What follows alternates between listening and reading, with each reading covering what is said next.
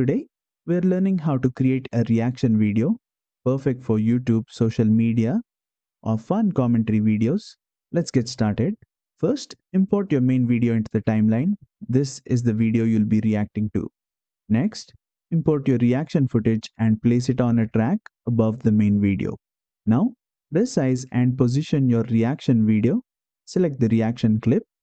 Go to the right side editing panel and adjust the scale and position to place it neatly in one corner of the screen. To make it look more polished, let's add a border. Go to the effects panel, search for border and drag it onto your reaction video. Then adjust the settings to change the thickness, color and style as needed. For an even better look, you can add a shadow to make your reaction video stand out. From the right side editing panel, go to the basic section enable drop shadow and tweak the settings to adjust the shadow's strength, blur, and position. And that's it. You've successfully created a reaction video in Filmora. Play around with the positioning, border, and shadow settings to customize your look.